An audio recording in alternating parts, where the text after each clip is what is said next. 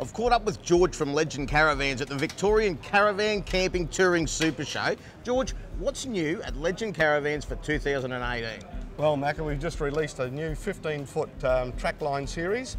Uh, it's an off-road uh, caravan with an ensuite, probably the best, uh, best that you can find on the market in that size. Single axle, got um, 300 uh, watts of uh, solar panel on it, twin batteries, uh, the, the DO35 trailer hitch, Uh, outside kitchen as you can probably see, and uh, also generator box, uh, barbecue slide out, and yeah, all the works all that packed into a 15 foot caravan. Yeah, it's fantastic, isn't it? It's and I guess that gives you the ability for off-road use. You want something more compact. That's right, yes. And uh, that's probably, some people make the mistake of going too big with their off-road vans and can't take them to too many places.